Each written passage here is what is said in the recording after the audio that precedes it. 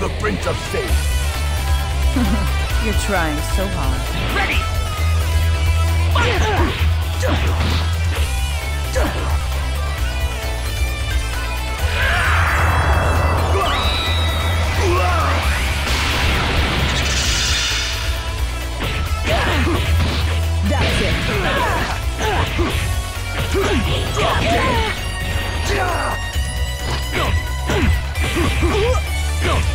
Hmm.